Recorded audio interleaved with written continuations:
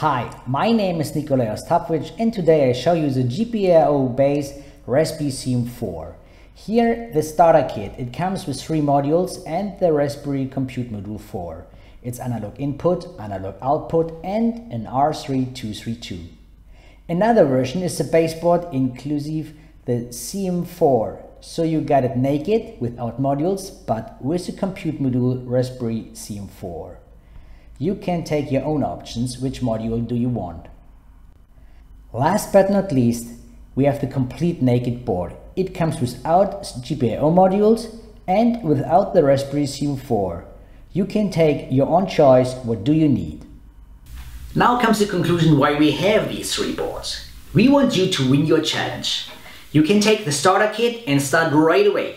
Or you take your own choice on the option boards and take your compute module and your GPIO module exactly how you need. And that's the reason why we have these three boards.